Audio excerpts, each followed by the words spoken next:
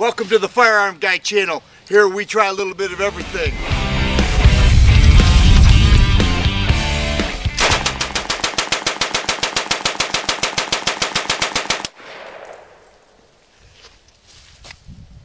Hey there friends, thanks for checking in. You're looking at an M3 submachine gun, shoots 45 auto. This one was made in 1944. It's commonly known as a grease gun because it looks like a grease gun. Some of the features here, we'll notice that the dust cover is up. The only safety is when that dust cover's down.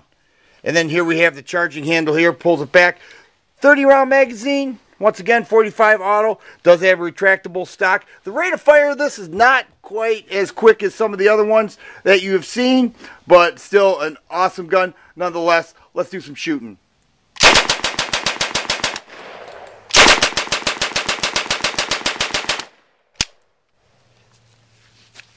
This grease gun's very cool.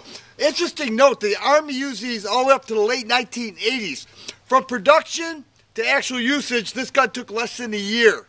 You can see how compact it is. It's a lot lighter. You know, you put 30 rounds in the magazine, weighs down a little front end heavy, but uh, obviously as you shoot it, it gets lighter. Real nice feel to it. Lower rate of fire than some of the other ones, but uh, certainly gets the job done. This grease gun was actually made to replace the Tommy gun or the Thompson submachine gun. It's cheaper during that time, about $20 to make this. Actually produced by General Motors. Isn't that something? Get a load of that charging handle.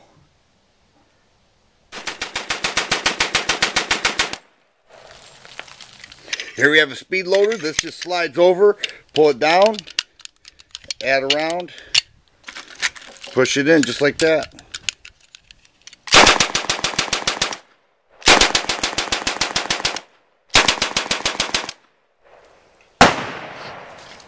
You know, this gun is very rare. This is a $25,000 gun.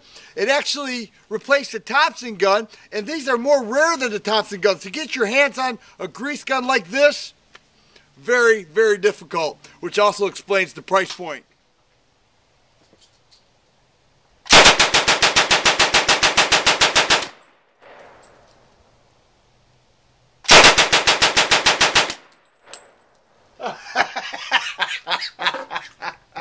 so much.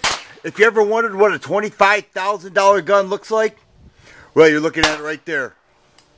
M3 submachine gun, otherwise known as the greaser. This piece right here is the canister of oil. And these people were very resourceful. They knew how to make the most out of the gun. The stock is folded in right now. By pulling that button, it comes completely off. And then the end of the stock is used to prop open, or through the trigger guard to prop prop open the gun and be able to get to the bolt and everything to, for cleaning.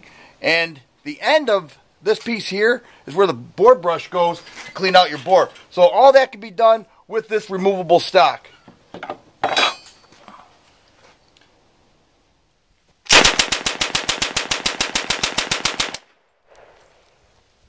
If you like videos like this, please subscribe and share. I always appreciate thumbs up button. Thanks for watching, and you guys be safe. Thank you.